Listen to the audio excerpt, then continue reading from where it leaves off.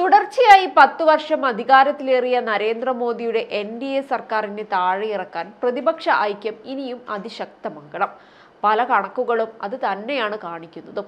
തെരഞ്ഞെടുപ്പിന് മുന്നോടിയായി ഇന്ത്യ മുന്നണി തയ്യാറെടുപ്പുകൾ തുടങ്ങിക്കഴിഞ്ഞുവെങ്കിലും പ്രതിപക്ഷ സഖ്യത്തെ നയിക്കുന്ന കോൺഗ്രസ് പ്രതാപത്തിലേക്ക് മടങ്ങി വരാതെ ഇന്ത്യ മുന്നണി അടുത്ത പൊതു തെരഞ്ഞെടുപ്പിൽ ക്ലച്ച് പിടിക്കില്ല എന്നാണ് കണക്കുകൾ പറയുന്നത്. നിലവിൽ അൻപത് സീറ്റുകൾ മാത്രമുള്ള കോൺഗ്രസ് നൂറ്റി അൻപതിനടുത്ത് സീറ്റ് നേടിയില്ലെങ്കിൽ ഇന്ത്യ മുന്നണി ഒരു പ്രതീക്ഷയും വെക്കുന്നതിൽ അർത്ഥമില്ല.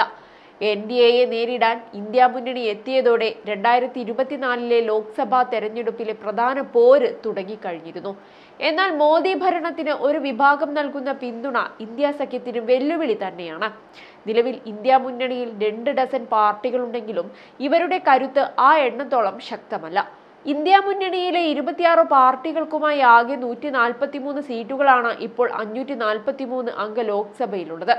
ഭൂരിപക്ഷം തെളിയിക്കാൻ ലോക്സഭയിൽ വേണ്ടത് ഇരുന്നൂറ്റി എഴുപത്തിരണ്ട് സീറ്റുകളും.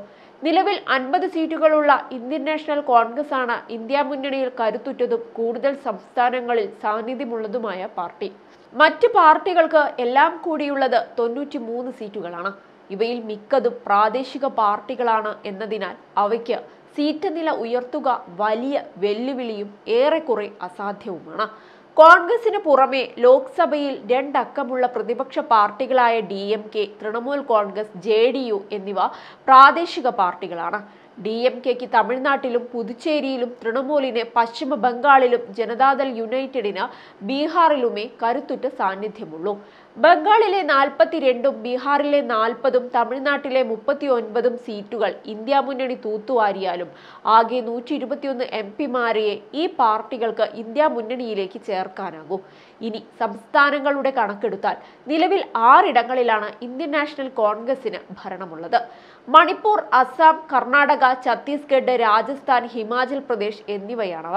മണിപ്പൂരിൽ രണ്ടും അസാമിൽ പതിനാലും കർണാടകയിൽ ഇരുപത്തിയെട്ടും ഛത്തീസ്ഗഡിൽ പതിനൊന്നും രാജസ്ഥാനിൽ ഇരുപത്തിയഞ്ചും ഹിമാചൽ പ്രദേശിൽ നാലും ലോക്സഭാ സീറ്റുകളാണുള്ളത്. ഇവയെല്ലാം തൂത്തുവാരിയാലും രണ്ടായിരത്തി പത്തൊൻപതിലെ പോലെ കേരളം തുണച്ചാലും കോൺഗ്രസിന് മതിയാവില്ല. രാജസ്ഥാനിലും ഛത്തീസ്ഗഡിലും ഈ വർഷാവസാനം നിയമസഭാ തെരഞ്ഞെടുപ്പ് വരുന്നുണ്ട്.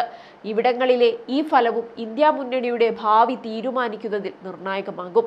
നിലവിൽ സംസ്ഥാന ഭരണത്തിലുള്ള ഡി എം കെയുടെ തമിഴ്നാടും ജെ ഡി യുവിന്റെ ബീഹാറും തൃണമൂലിന്റെ ബംഗാളും കോൺഗ്രസിനൊപ്പം ചേർന്നാലും എൻ ഡി എക്ക് ഇന്ത്യ മുന്നണി നിലവിൽ ഭീഷണിയാവാൻ തരമില്ല. ഇതോടെ എല്ലാ സമ്മർദ്ദവും ഇന്ത്യൻ നാഷണൽ കോൺഗ്രസിന്റെ ചുമലിലേക്ക് തന്നെ വരും.